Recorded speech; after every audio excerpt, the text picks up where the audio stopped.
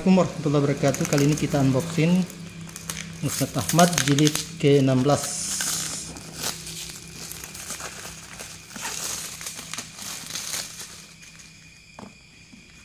Ini Sampul belakangnya. Dan ini kode produknya ya. Kita lihat dulu Sampai halaman berapa.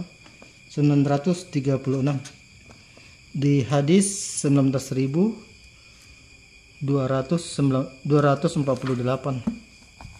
untuk hadis. Ini penerbitnya Pustaka Azam ya. Sambut dengan Bismillahirrahmanirrahim. Musnad Ahmad. Jilid 16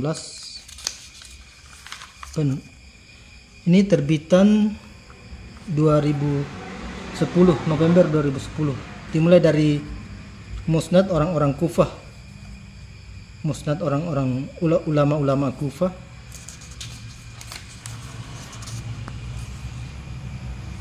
hadisnya hadis ke 100 eh hadis 18007 selanjutnya ini ada agak kuning ya sudah lama di penerbit di penjualnya ya. Ini ada keterangannya di bawah sanatnya sahih Oke, sekian. Assalamualaikum warahmatullahi wabarakatuh.